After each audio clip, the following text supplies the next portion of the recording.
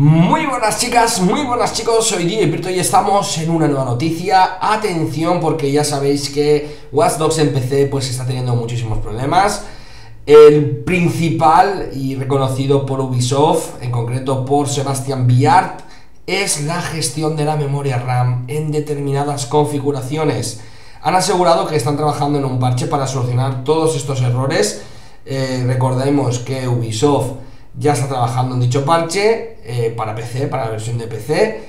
Eh, el juego ha generado problemas asociados al sistema DRM de Uplay, el tan polémico sistema, ¿no? el servicio en línea de Ubisoft, incluido a través de Steam. Además, hay otras cuestiones técnicas que están siendo abordadas por la compañía, como la memoria RAM. Parece ser que están teniendo problemas en determinadas configuraciones de ordenadores y, o, o no sé cómo van a solucionar esto, pero bueno.